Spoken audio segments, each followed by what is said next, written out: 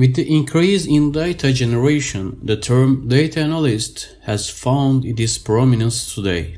However, to become a data analyst, there are a set of required data analyst skills and a few steps that have to be followed. In this video on how to become a data analyst, you will get an in-depth understanding of what you must do to become a data analyst. Unearth the skills required to back this position and you will get a step closer to your dream of becoming a data analyst. A data analyst must possess a vast and rich skill set. You must hold a degree in any relevant field and should have domain knowledge in the area you are working in. If you are from a different background but wish to become a data analyst, it is possible if you have the required skill set.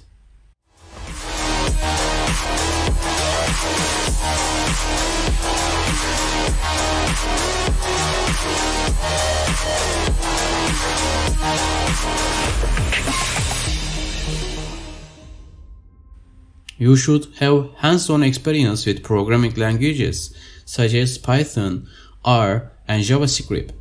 Writing programs will help you solve complex problems.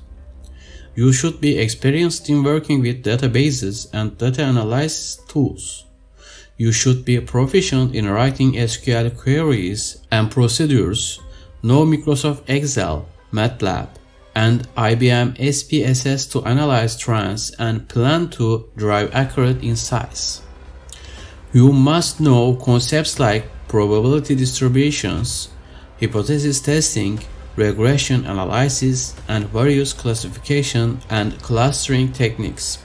A data analyst must be able to create different business reports using several data visualization tools.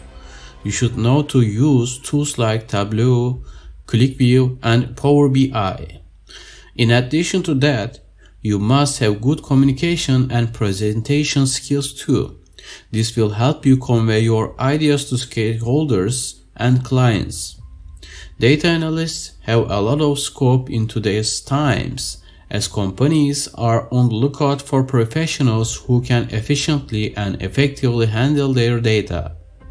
The companies hiring for the position of data analyst are Amazon, Microsoft, Capital One, Walmart, PayPal, Google, Facebook, Twitter, Bloomberg, and Apple, to name a few.